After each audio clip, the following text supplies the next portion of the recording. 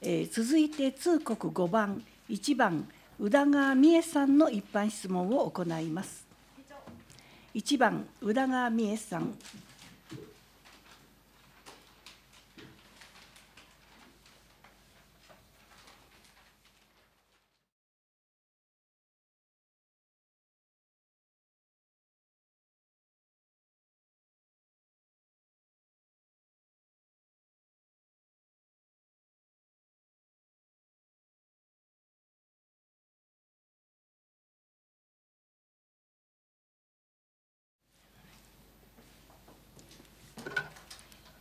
告通り一般質問をさせていただきます。本日の一般質問は、えーと行政評価の一つである事業評価についてであります。事務事業評価は行政評価の一つであり、1990年代の財政危機と当時相次いで起こった行政の不祥事が行政改革を進める原動力になり、自治体で取り入れる取り入れ取り入れられるようになったと言われております。行政評価の主な目的は、行政の仕事に効果的、効率的な推進をすること、行政の仕事を見える化すること、住民に対する説明責任を果たすことが挙げられております。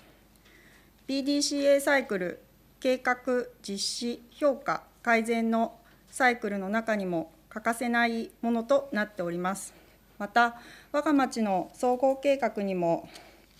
行財政推行財政改革の推進とも書かれております。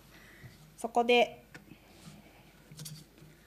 本庁では事務事業評価をどのように予算に反映しているのか、町の考えをお伺いしたいと思います。以上、政策所課長。政策秘書課長、早川隆一君。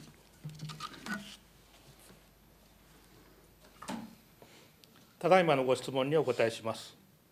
多様化する町民ニーズを踏まえ、効率的な行政サービスの提供を目指し、行政運営の質的改革を図るため、町が実施する事務事業について、第三者の観点からの評価と意見等を聴取することを目的として、事務事業住民評価委員会を設置しているところであります。こうした中、個別の事務事業や補助金について、事業立案の経緯、目的の妥当性、事業の成果に対し、継続、改善、廃止の評価を行い、その結果を予算に反映しているところであります。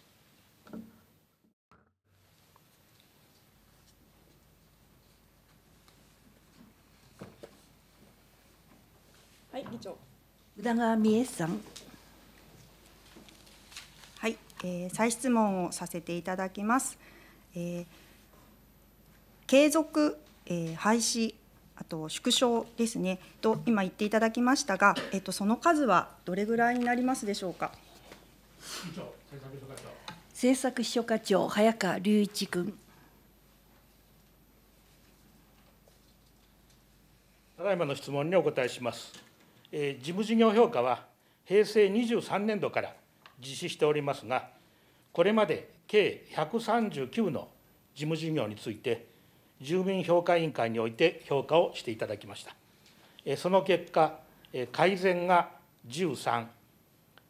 継続が81、廃止が17、縮小が28件でありました。以上です。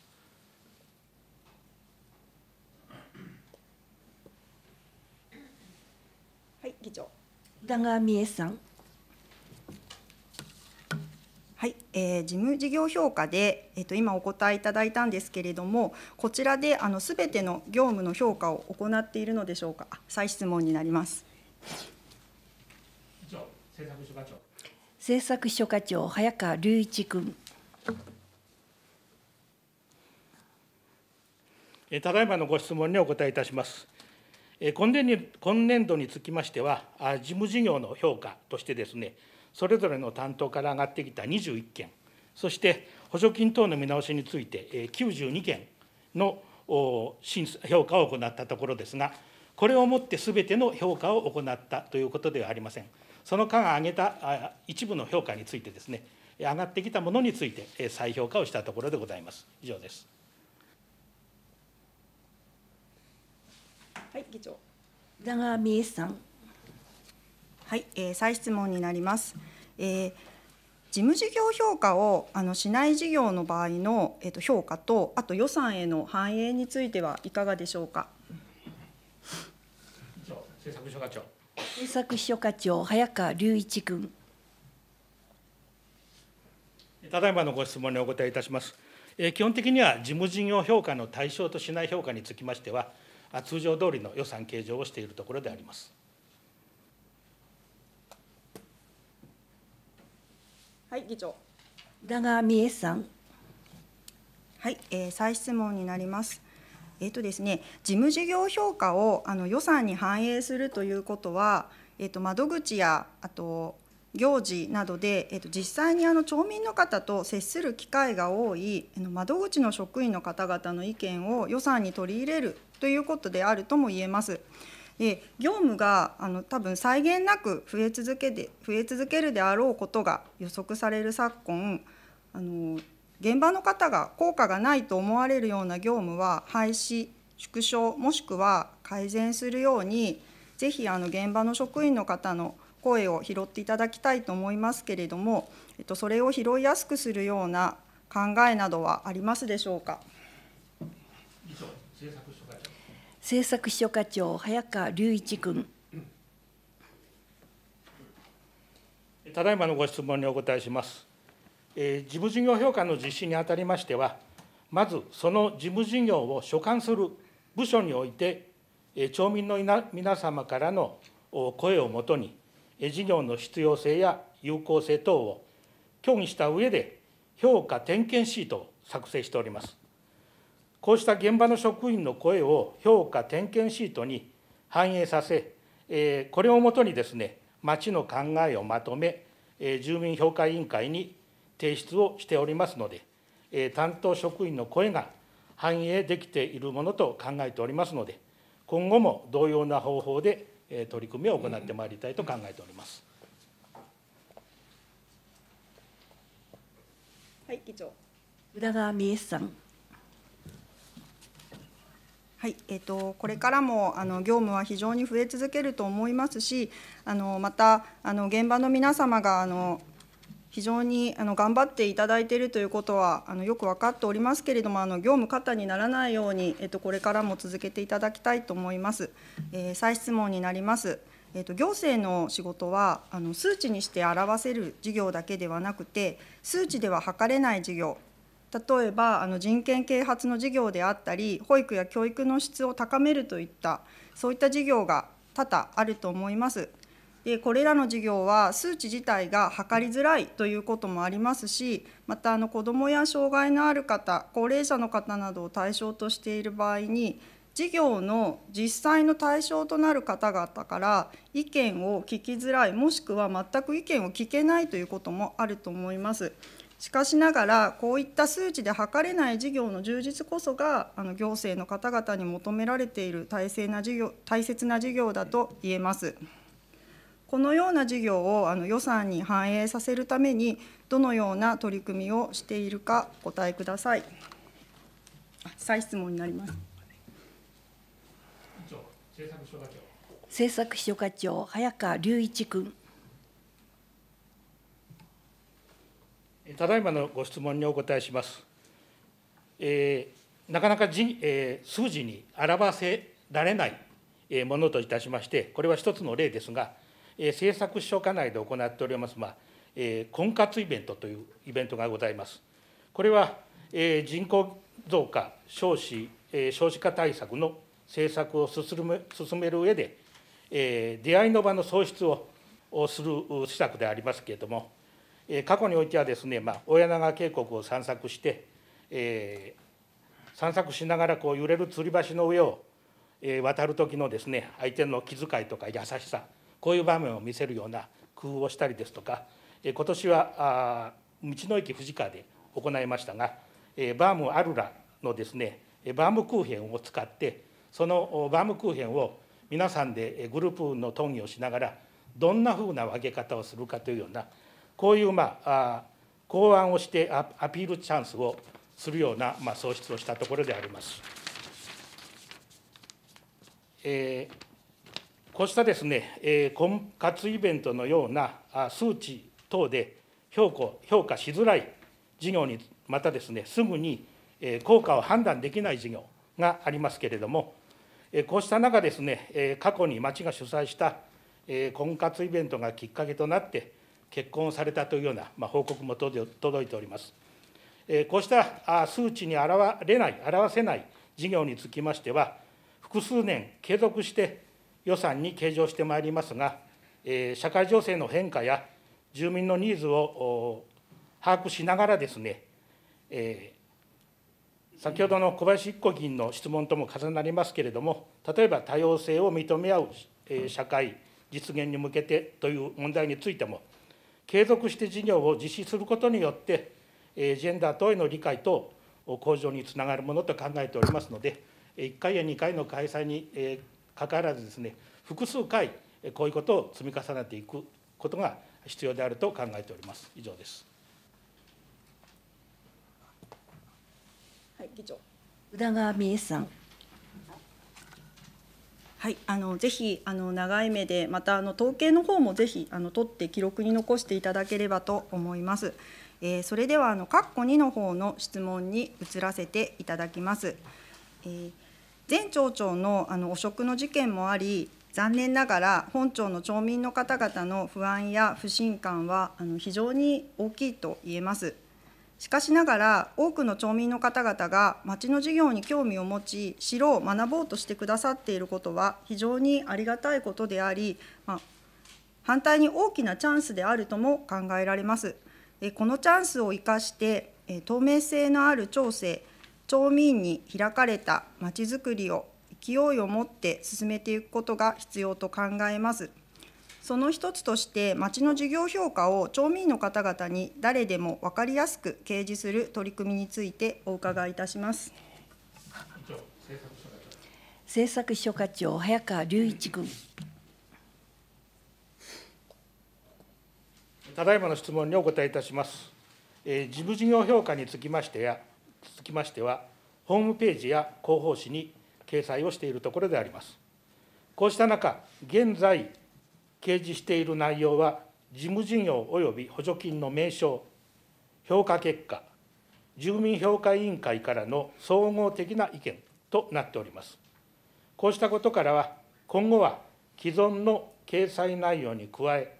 事務事業や補助金の趣旨や制度の説明、評価の判断結果の経緯等を掲載し、調整に対する理解をより深めていただくため、分かりやすく掲示をしてまいりたいと考えております。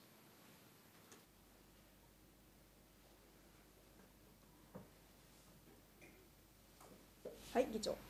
宇田川美恵さん。はい、えー、再質問になります。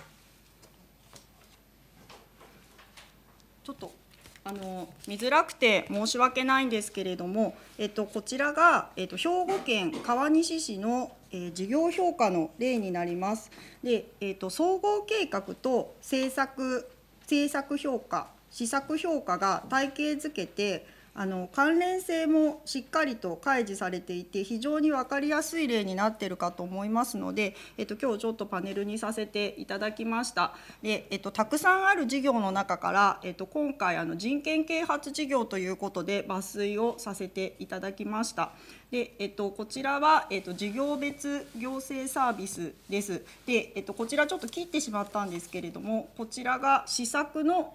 評価表になります。でえっと川西市の場合は、えっと、5つの視点というのを作っておりましてで、えっと、その1つがこのつながりというものになります。で、えっと、そのつながりの中にまたあの2つくらい分かれておりましてでこちらが、えっと、10の政策ですねでその下に施策があってさらにその下にこの事業事業評価という形で書いてあります。でえっと、例えば、えっと、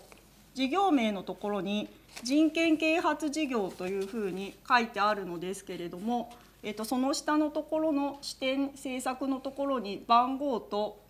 えっと、政策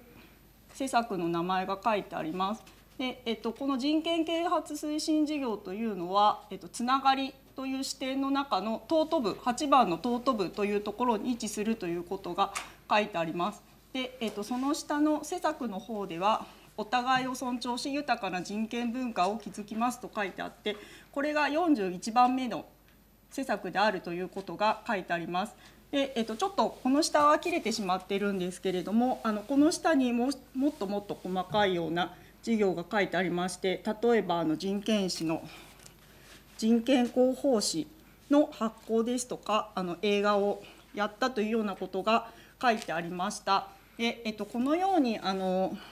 せっかくあの素晴らしい富士川町の総合計画がありますので総合計画と体系づけてあのホームページやまたあの広報をしていただけると良いかなと思いますけれどもそれについてはいかがでしょうか？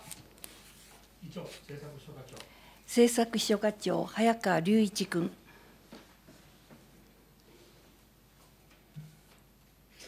ただいまのご質問にお答えします。事務事務事業評価を実施するにあたり、事務事業等点検シートの様式を使用して評価をしております。この様式には、総合計画との位置づけや、事務事業の妥当性、有効性等の評価結果、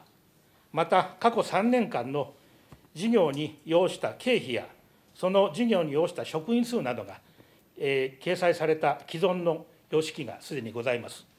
こうした既存の様式を活用しながら、ホームページや広報誌への掲載を検討してまいりたいと考えております。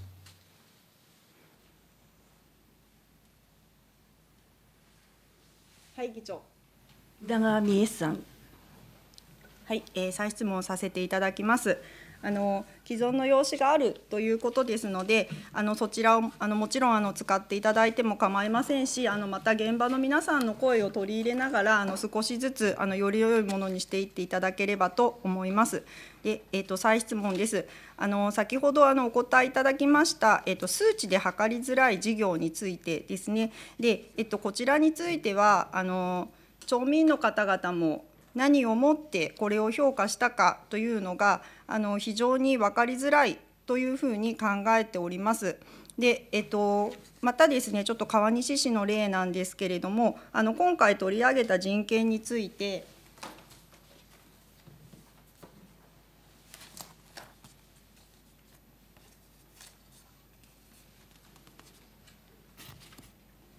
えっと、川西市では、えっと、市民の人権の実感が上がったかどうかというのを市民実感調査というもので、えっと、表してそれもまた掲示しております。で、えっと、それがこのようなグラフになっておりましてで、えっと、ここのところに、えっと、一人一人の人権が尊重されていると感じている市民の割合について、えっと、こちらですね、えっと、これを書いた行政の方の分析とあとさらに今後の課題を、えっと、書いています。で、えっと、非常にちょっと面白いなと思ったんですけれどもあの人権意識がずっとあの向上してきたんですけれども令和3年度に少し下がっております。で、えっと、この下がった原因について何らかの形でコロナ禍が影響していると思われるとあの書かれております。で、えっと、さらに課題としてコロナ禍や世界情勢を見据えてまた啓発活動を行っていくというふうに書かれておりあのどうしてえっと、このような課題をしてこのようなことに予算を使ってこのような事業をしていくのかっていうのが非常にあの分かりやすくなっております。えですのであのこう数値で測りづらい事業あの非常に、えっと、非常にあの広報しづらいかと思いますけれども、まあ、あのアンケートでなくても窓口や行事事業の時に、えっと、町民の方から寄せられた感想や意見をぜひ評価に取り入れてあの広報していただきたいと思いますけれどもそちらについてはいかがでしょうか？政策秘書課長早川隆一君。ただいまのご質問にお答えします。やはりあの数値に現れづらいとか、あなかなか評価の判断ができないという、こういうものにつきましては、やはりですね、町民の皆さんの意見を聞くということが一番大切であります。そういった事業につきましては、町民の皆さんの意見を聞いてですね、調整に反映をしてまいりたいと考えておりますので、広報と広く事業の内容について意見を募ったり、そういう場面を設けてまいりたいと考えております。以上です。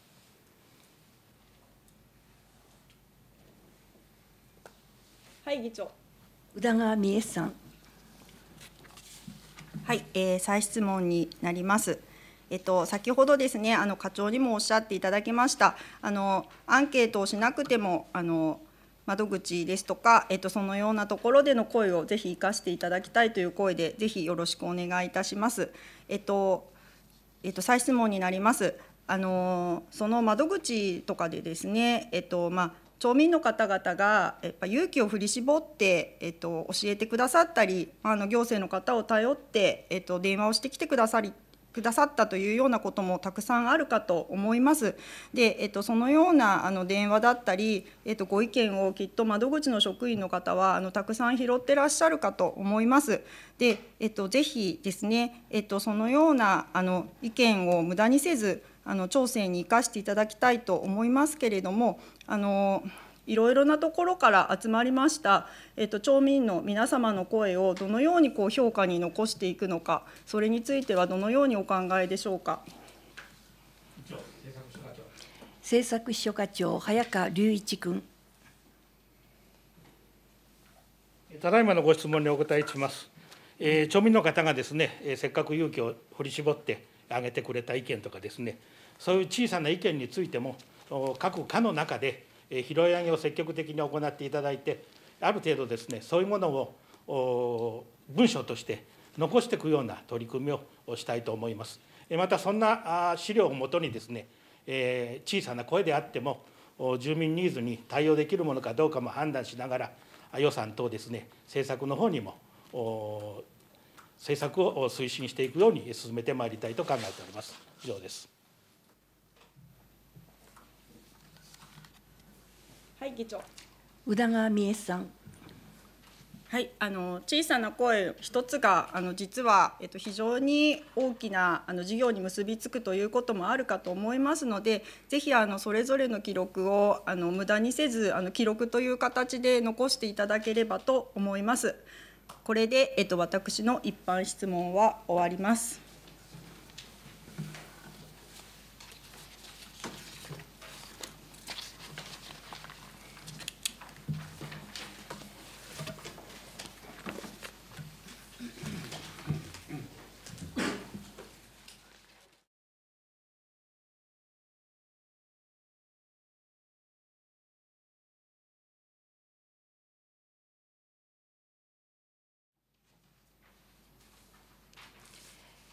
上で通告5番1番宇田川美恵さんの一般質問を終わります。続いて通告